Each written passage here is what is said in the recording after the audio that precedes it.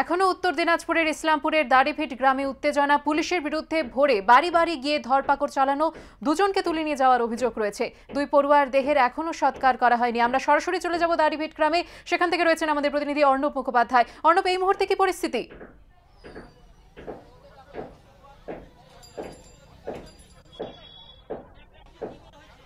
দেখো দাড়িভিট গ্রামে এই মুহূর্তে আমরা দেখতে পাচ্ছি সুজন চক্রবর্তী, অশোক ভট্টাচার্য, তারা এসছেন। এখানে সাধারণ মানুষরা রয়েছেন। আমরা সুজন চক্রবর্তীর সঙ্গে কথা বলে নেওয়া চেষ্টা করব। সুজনদা, কি বলবেন? আপনারা তো পরিবারের সঙ্গে কথা বললেন। আমরা তো বাম বিধায়ক দল, আমরা এসেছিলাম, গ্রামে গেছিলাম। আপনি চার পাঁচ থেকে বুঝতে পারছেন গ্রামের লোকের কি রিয়াকশন খুব সহজ কথা। ওরা চাইলো মাস্টারমশাই আর পেল গুলি। পুলিশ সেদিন যেভাবে স্কুলের মাঠে গাড়ি দৌড় করিয়েছে তো ছাত্র খুন করার জন্য। পয়েন্ট ব্ল্যাঙ্ক রেঞ্জ থেকে গুলি করেছে। তারপরে এসপি বলছে না পুলিশ গুলি চালায়নি অথচ তদন্ত হবে। তদন্তের আগে পুলিশ পুলিশ সুপার বলছেন যে দুজন গুলিবিদ্ধ হয়েছে কিন্তু পুলিশ গুলি তদন্ত এখনও কি কমপ্লিট হয়েছে?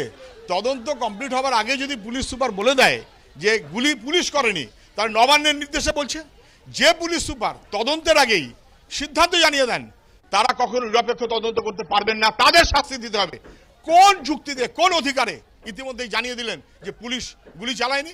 কে চালিয়েছে? তাহলে বলুন। বলছে বহিরাগতরা জড়ো হয়েছিল আগ্নেয়াস্ত্র এবং বোমা। এটা কেউ বিশ্বাস করে? ওখানে ওখানে সবার ফুটেজ আছে কেউ দেখেছে? সব স্টুডেন্ট ছাত্র ছাত্রী ছাত্রীদের সঙ্গে পুলিশ ধস্তাধস্তি করেছে।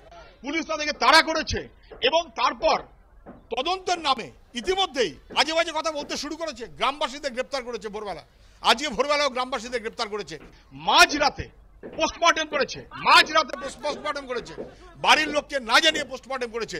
একের পর এক বেআইনি কাজ করছে, এরা নিরপেক্ষ তদন্ত করতে পারবে না। উচ্চ পর্যায়ে তদন্ত চাই, বিচার বিভাগীয় তদন্ত চাই, বিচার বিভাগীয় তদন্ত চাই।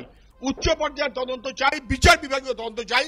পুলিশের ওপরে মানুষের বিশ্বাস নেই ভরসা নেই। অবশ্যই আমরা কথা বললাম সুজন চক্রবর্তীর সঙ্গে। তারা কিন্তু জানিয়ে দিচ্ছেন তারা বিচার বিভাগীয় তদন্ত চাইছেন এবং তারা চাইছেন যাতে নিরপেক্ষভাবে তদন্ত হয় এবং সেই কারণেই তিনি এসছিলেন যে মৃত রাজেশ সরকারের বাড়িতে তারা এসছিলেন।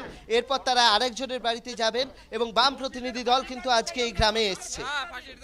ধন্যবাদ অর্ণব।